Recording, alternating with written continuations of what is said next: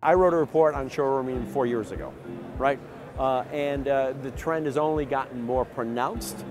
Um, so why is that happening, right? Why is that happening?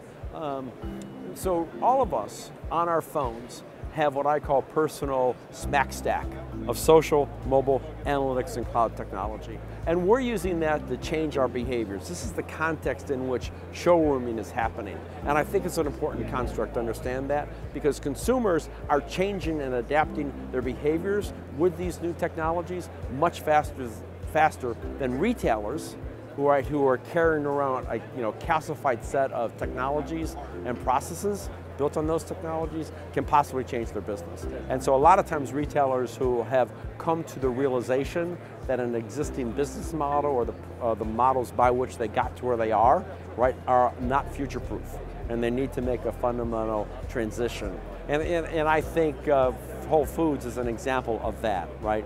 Uh, but there are many other examples of, of where that's happening, and we're seeing many retailers decide to re-platform their businesses, right?